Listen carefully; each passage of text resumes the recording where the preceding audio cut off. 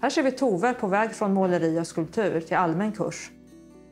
Allmän kurs på Vårdinge folkhögskola är ett unikt och kreativt sätt att ta sig an gymnasiestudier för att skaffa sig behörighet till högskola eller yrkeshögskola.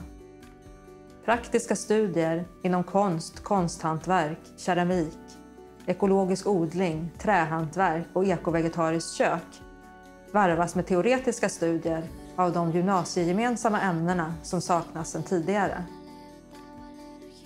Lärarledda lektioner, de gymnasiegemensamma ämnena, varvas med fördjupade temastudier och projektarbete i hållbar utveckling, gästföreläsningar, studiebesök och förberedelser inför högre studier, som till exempel övning inför högskoleprovet och i studieteknik, i lokaler särskilt anpassade för teoretiska studier.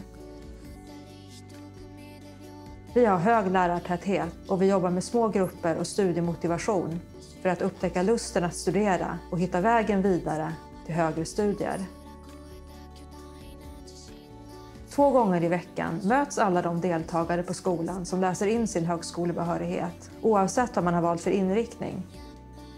Målet är dock inte bara högskolebehörighet, utan utbildningen handlar lika mycket om att få nya kunskaper som räcker livet ut, samt att hitta sin egen drivkraft och nyfikenhet, stärka självkänslan och öka självförtroendet.